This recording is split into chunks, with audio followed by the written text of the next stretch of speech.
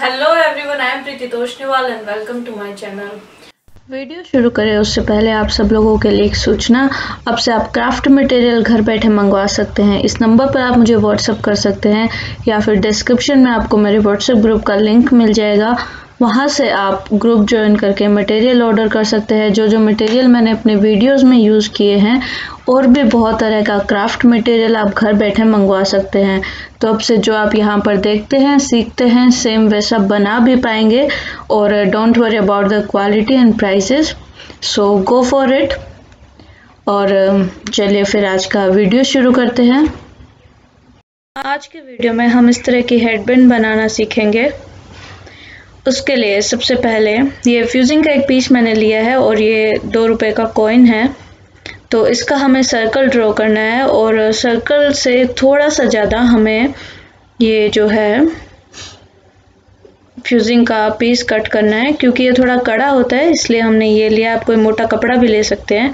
इस पर हम ग्लू लगाएँगे और वेलवेट है ये रेड कलर का, उस पर हम इसे चिपका देंगे और उसके बाद सर्कल के ही साइज़ में इसे हम वेलवेट को इस तरह से कट कर लेंगे। तो ये इस तरह का रेड कलर का सर्कल हमारे पास रहेगा, उसके बाद ये लेस है हमारे पास। ये जो है जॉइंट है तो इस तरह से इसके जो बीच के थ्रेड्स है, ये हम कट कर देंगे। और इसे जो है, हमें इसे सर्कल के घुमाना है चारों तरफ़। सर्कल पे लपेटना है, हमें इसे किनारे से हम शुरू करेंगे। और इस तरह से लपेटते हुए हम इसे सेंटर में ख़त्म करेंगे। दो तीन लेयर इसकी आ जाएगी इस तरह से।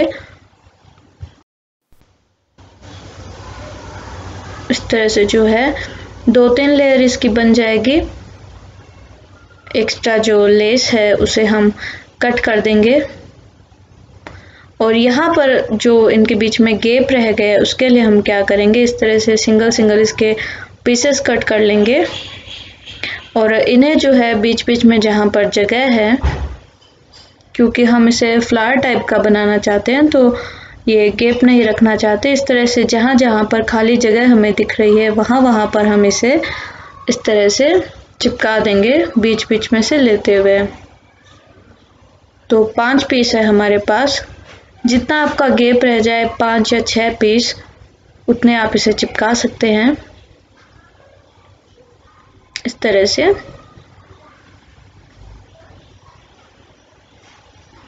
उसके बाद ये फोम का फ्लावर है हमारे पास रेड कलर का, इसे हम इसके सेंटर में लगा देंगे इस तरह से। इसे हम एक बार साइड रखेंगे। ये एक प्लेन ब्लैक कलर का हेडबैंड हमने लिया है और रेड कलर का वुल यहाँ टिप पर इसके, माफ़ कीजिए, मैं ठीक से दिखा नहीं पाई सेंटर में हेडबैंड लेके। यहाँ टिप पर हमें इसे लपेटना है वुल को सबसे पहले और उसके बाद थोड़े थोड़े गेप से इस तरह से हमें इस पे हेडबैंड पे जो है, ये थ्रेड को आप एंकर का थ्रेड भी ले सकते हैं या फिर वुल ले सकते हैं जो कि इजीली अवेलेबल होती है सब जगह। इस तरह से इसे हम इस पर लपेट देंगे। और यहाँ पर किनारे पर फिर से हम इसे अच्छी तरह से पैक कर देंगे। किनारे पर अच्छे से पैक करना बहुत ज़रूरी है। यहाँ से ये नहीं खुलना चाहिए। इस तरह से हम ऊपर से भी ग्लू की कोटिंग कर देंगे।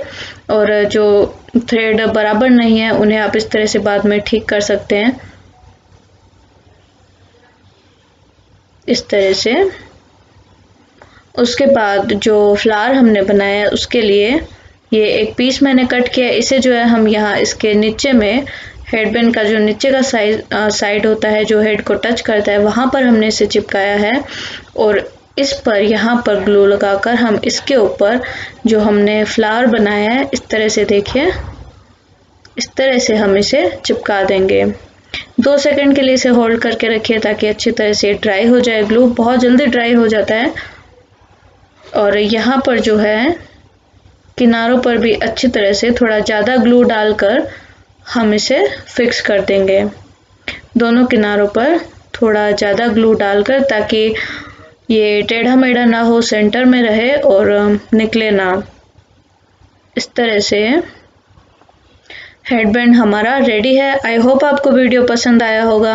अगर आपके कोई डाउट्स या सजेशंस है तो प्लीज़ कमेंट बॉक्स में लिखिए। चैनल को सब्सक्राइब करना ना भूलें और वीडियो को लाइक ज़रूर कीजिए। Bye bye thanks for watching